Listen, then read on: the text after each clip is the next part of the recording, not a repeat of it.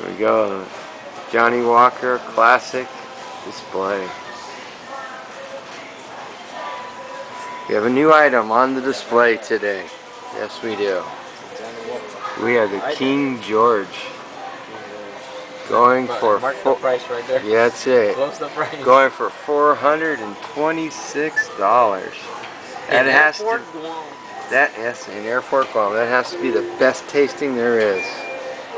I say the blue label's the best, but one of these days I'm gonna have to split that bottle with somebody. See you next time.